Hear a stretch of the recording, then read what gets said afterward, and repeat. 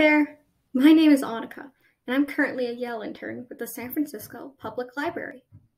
During my time at the main library, I've been learning all sorts of things about the resources we provide for all kinds of people, as well as just how many helpful spaces we have.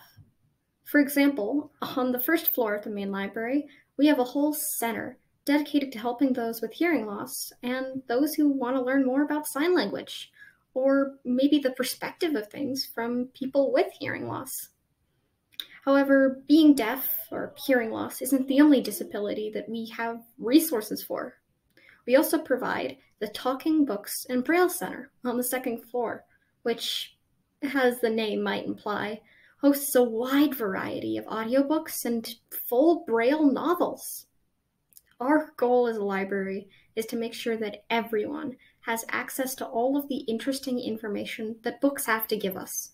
So I am so glad that the library chooses to offer resources like this.